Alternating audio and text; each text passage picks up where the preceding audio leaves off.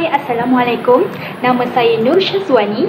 Baik, untuk video kali ini saya nak berkongsi dengan anda semua tentang salah satu perkara yang kebanyakan orang tak tahu berkenaan bidang psikologi dan lagi orang dekat Malaysia ni lah. Okey, baik. Kamu semua pernah dengar tak tentang nama-nama kursus spesifik dalam bidang psikologi? Contoh yang macam biasa kita dengar ialah psikologi klinikal iaitu yang tertumpu kepada terapi dan rawatan penyakit mental. Psikologi kaunseling yang ni pula dia tertumpu kepada rawatan terapeutik kepada orang yang ada masalah dalam kehidupan harian dia contoh macam masalah kerjaya dan hubungan sosial.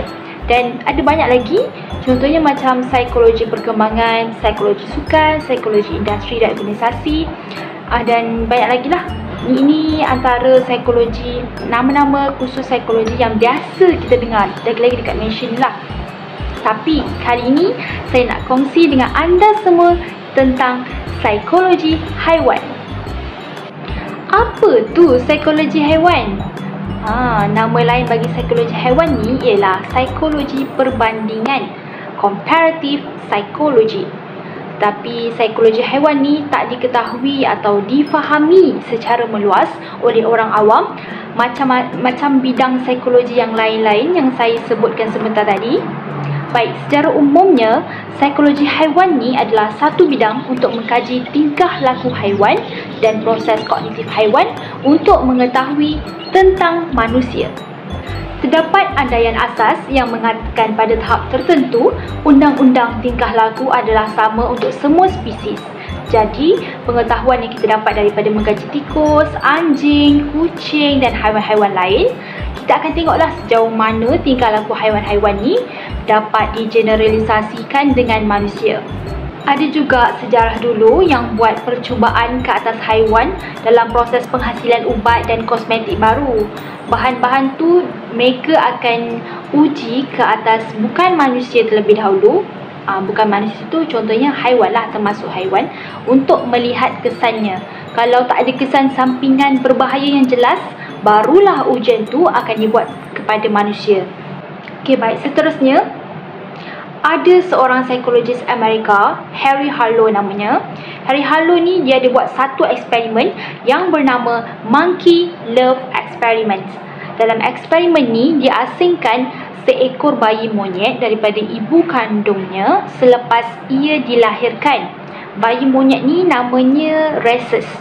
Rhesus si bayi monyet ni diletak dalam sangkar lain bersama dua ekor ibu tumpang iaitu monyet tipu. Satu, ibu monyet yang diperbuat daripada wire dan ada botol susu lah dekat ibu monyet tu. Satu lagi, ibu monyet yang dilitupi dengan kain tuala teri yang lembut tanpa ada botol susu. Berdasarkan eksperimen ni, bayi monyet lebih banyak menghabiskan masa dengan ibu yang berkain tadi walaupun ibu tu tak ada susu. Tapi bila dia lapar, dia akan pergi kepada ibu berwire tadi yang ada susu. Tapi dia akan pergi sekejap je. Bila dia dah lepas susu, dia akan datang kembali kepada ibu yang berkain tadi. Okey, kalau ada objek yang menakutkan pula dimasukkan ke dalam sangkar, bayi monyet tadi akan berlindung pada ibu kain sebab dia rasa selamat dekat situ. Jadi eksperimen ni dikatakan dapat menyokong teori evolusi keterikatan iaitu attachment lah antara ibu dan anak Sebabnya tindak balas sensitif dan keselamatan daripada pengasuh adalah lebih penting berbanding penyediaan makanan semata. Eksperimen ni dikaitkan dengan kajian awal tentang cinta atau kasih sayang. Harry Harlow ni dia nak menunjukkan kesan dan kepentingan kasih sayang pengasuh untuk perkembangan kanak-kanak yang sihat. Itulah dia punya tujuan eksperimen sebenarnya. Kesimpulannya, psikologi haiwan ni dapatlah membantu kita dalam kajian tingkah laku manusia berdasarkan pemerhatian terhadap tingkah laku haiwan. Kalau ada yang berminat dengan psikologi haiwan ni, bolehlah pergi belajar. Tapi cabang ni tak terlalu meluas lagi lah di Malaysia, terutamanya buat masa sekarang. Kalau anda betul-betul berminat dengan kajian tingkah laku ataupun berminat untuk kaji haiwan, bolehlah sambung master dalam animal psychology di institusi yang ada tawarkan khusus ni.